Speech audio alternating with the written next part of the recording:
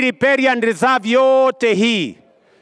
Hii riparian reserve yote mahali wananchi wameondoka, sasa tutakuwa na mpango. Ile niliwaambia, mpango ya housing ambayo itasaidia sisi. Hawa wananchi wanaishi katika slums, na tuko na wananchi zaidi ya milioni saba Kenya wanaoishi katika slums kama hizi, na ndio nilisema lazima tuwe na mpango ya serikali, na ndio nikaanzisha hazina ya housing.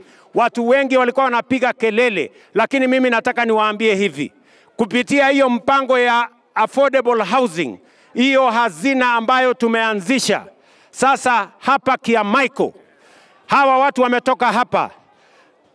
Wiki hii tunatangaza kandarasi ya kujenga nyumba elfu tano ambayo itafaidi watu ambao wametoka hapa, wao wataenda kuishi kule. Yenye mnanielewa? Kule Kibira tunaweka nyumba elfu tano. Hapa Kasarani Mwiki tunaongeza nyumba elfu kumi.